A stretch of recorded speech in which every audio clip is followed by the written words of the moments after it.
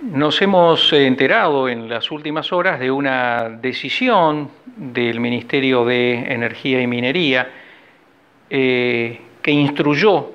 al ente regulador del gas, al Energas, para que a su vez notificara, cosa que está haciendo eh, por, estos, por estas horas, a las distribuidoras de gas de todo el país, en el sentido de desdoblar la facturación del bimestre julio-agosto por el consumo de gas domiciliario, ¿eh? exclusivamente eh, a nivel residencial, en cuatro cuotas y no en dos, tal como lo viene haciendo desde el año pasado, cuando comenzó con el proceso de reducción progresiva de los subsidios al sector. Se trata del bimestre de mayor consumo por razones estacionales, de manera tal que eh,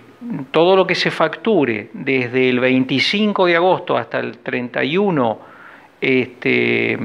de eh, octubre, bueno, va a formar parte de eh, este esquema de posibilidad de pago en cuatro cuotas mensuales iguales y consecutivas. ¿Qué va a ocurrir? Bueno, ciertamente las dos últimas de estas cuatro cuotas se van a sumar a lo que haya que pagar eh, por el consumo del gas en el bimestre siguiente.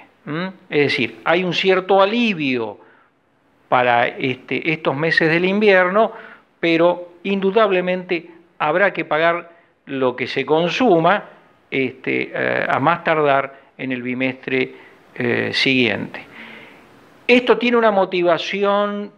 desde el punto de vista este, electoral, bueno, considero que sin ningún lugar a dudas es así, este, no obstante no es desestimable la iniciativa.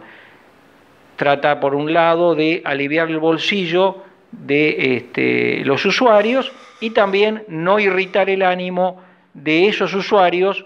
que tendrán que ejercer su función de votantes en las elecciones legislativas de octubre próximo.